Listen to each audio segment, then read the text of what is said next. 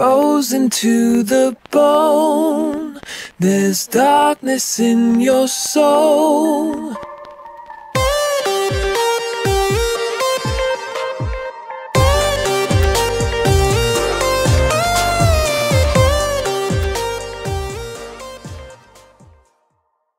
Hey, what's up, parasites? Welcome back to another episode of the Venom Vlog, and today we're going to talk about some behind the scenes photos from Venom 3 that Tom himself put out there, which is really cool because obviously we're grasping for information from this movie and they're, you know, being very secretive of it, which is cool. They're telling a big story and they don't want too much of it to get out there before they want it to get out there. And obviously we've seen a lot of leaks with Deadpool recently that have kind of spoiled major things that were going to be in the film and I really like and commend Kelly and the team and Tom and everyone for keeping a lot of what they're doing under wraps. Uh, they did finish filming in the UK as we said in a recent episode, and they've moved on to other places in the world. Now, these shots here are from Spain, I believe, which means they are older shots. These are things that they already filmed because I think they left the UK and that area to go on to film other stuff in other cities.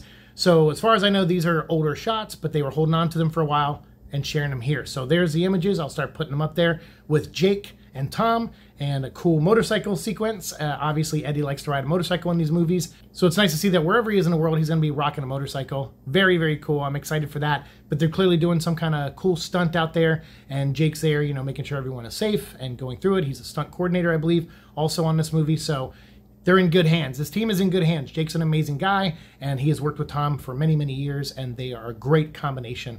And I can't wait to see what this scene is, what it entails, how it involves, you know, symbiotes and other things. If it does, um, I'll be really curious. Could be just a scene of Eddie driving across the desert or something, like leaving Spain, going on to other places in Europe. Who knows? It could just be something simple like that, but it would be cool if it was part of an action sequence. That'd be really neat. And then lastly, just for fun, Tom posted this image here where he was saying, like, you know, be a trendsetter, not a trend follower. And then right after that has this other image where he's dressed in this like tight outfit, again from set of Venom 3, but I think something they've already filmed and not something that is part of their current locations of where they're going next.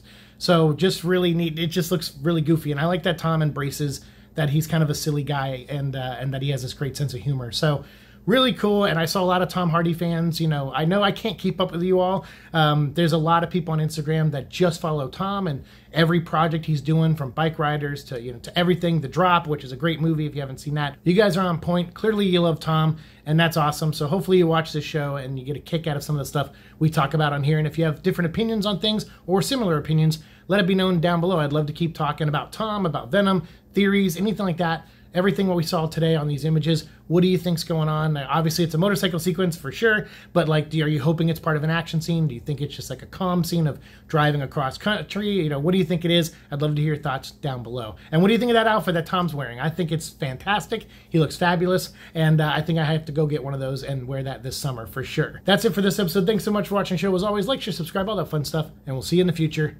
Peace.